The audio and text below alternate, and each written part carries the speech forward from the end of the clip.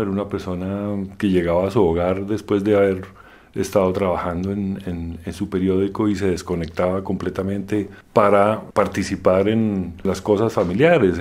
siempre había comida juntos, eh, siempre había ver algún programa específico que le gustaba a él en, la televisión de esa época y, nada, y compartir y oír eh, los partidos de fútbol los fines de semana o ir al estadio.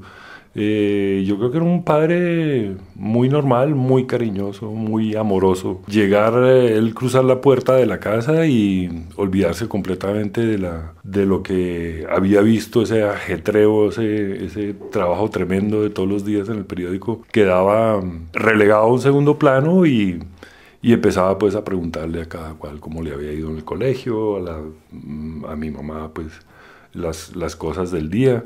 Tocaba, digamos, como que sacarle las, las informaciones, pues así, casi que a regañadientes, ¿no?